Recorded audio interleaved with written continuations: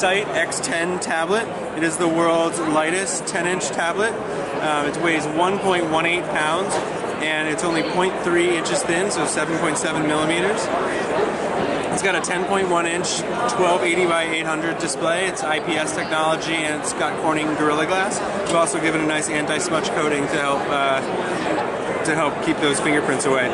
Um, on the front, we have a 2 megapixel camera, and on the back, we have a 5 megapixel camera with an LED flash.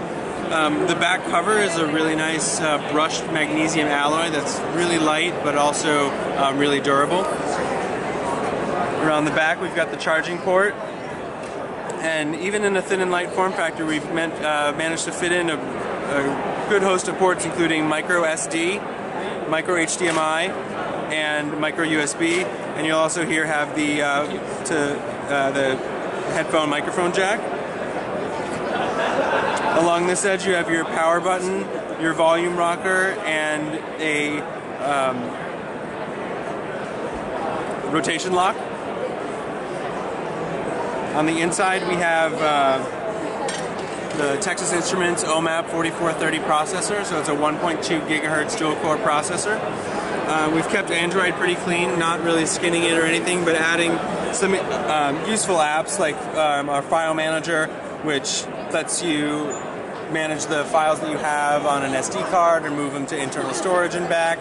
Um, we've also added a screen capture ability, so it's good for the folks at Notebookcheck so they can take screenshots.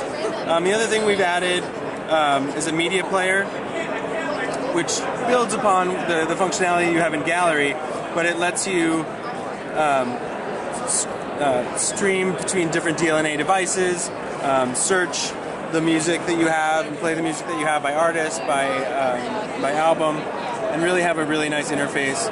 So you can see your tablet there. If you had other DLNA devices, they'd all show up and you could control streaming between them or stream from them to the tablet. Um, in terms of pricing, there'll be two versions. There'll be a 16 gig version for 529 and a 32 gig version for 599. They'll be available in the first quarter this year. Thank you.